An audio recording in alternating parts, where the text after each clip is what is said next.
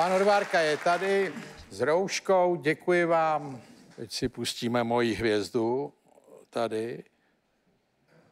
Uapte kalup.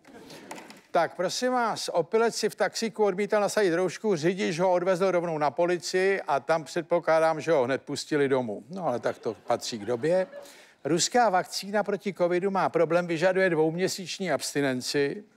Musíte, nesmíte pít eh, eh, dva týdny před očkováním a dalších šest týdnů po naočkování.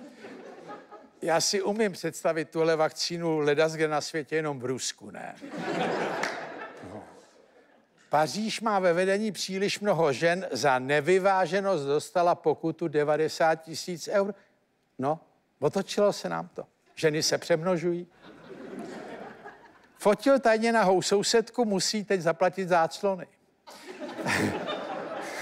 On jí fotil, musí zaplatit škody, co jí způsobil a tak dále. A navíc záclony, přes který nebude vidět.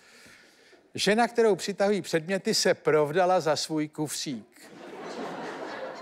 Gideon je můj manžel a mentor říká o něm. Zkuste to otočit.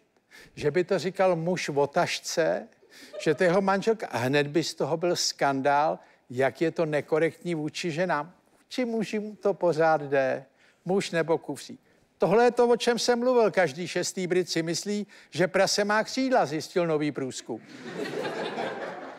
Oni ty sociální sítě objevili ledacos. Není to nic veselého. A tady svetovaný si myslel, že má firmu, vzal z ní auto a kontroloval cizí dělníky.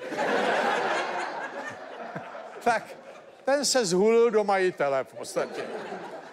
No a tohle je tady od nás. Z kluziště květinářství majitel lední plochy obešel zákaz tím, že prodává květiny. To je naše hobby, obcházet zákazy. Někdy vás to může stát život, bohužel. Tak, to by bylo pro dnešek všechno.